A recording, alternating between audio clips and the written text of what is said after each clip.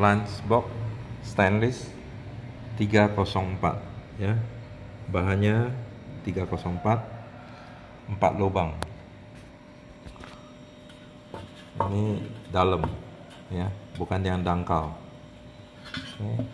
terus ini juga tidak tajam.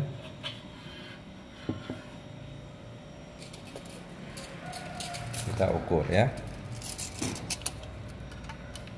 24 cm panjangnya. Lebarnya adalah 17 cm. Nah, tingginya coba lihat tingginya ya. Berapa? 4 cm ya. Nah ini yang model tinggi. Ada yang model lebih cetek lebih pendek sekitar dua setengah cm. Nah, kita lihat. Ini bahannya juga tebal. Nah, beratnya berapa